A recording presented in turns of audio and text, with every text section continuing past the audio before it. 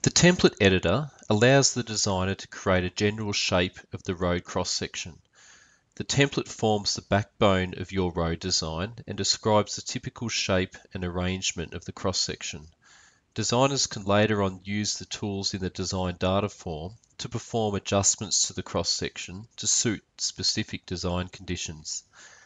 A template is created by defining codes, sections, and daylights.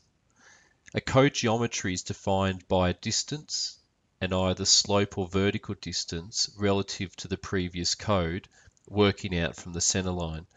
Sections are formed between codes and are used to form subgrade information. Daylights are connected to the last code of the template and form to the sampled surface.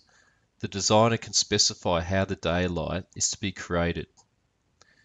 To create a new template, select the Template Options button and then select Create New Template in Local Library from the list. The local library stores templates for use in the current project.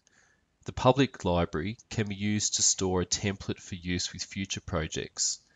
A template stored in the public library can be copied to the local library and used in the current project. Our template will be named Standard 20 feet. Once you have named the template, select OK.